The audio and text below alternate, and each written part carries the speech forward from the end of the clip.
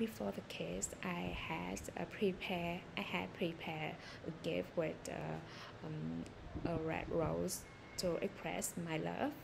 Before the kid, I I had taken a bath and uh, um, chosen a great outfit. Before the kid, I and my darling had uh, a romantic dinner at uh, luxury restaurants and um, mm, had enjoyed uh, uh, some coffee together at uh, the cozy coffee shop before the, the kiss. I had uh, traveled a long way from my home to my her place um, and uh, taken time to watch a romantic movie with her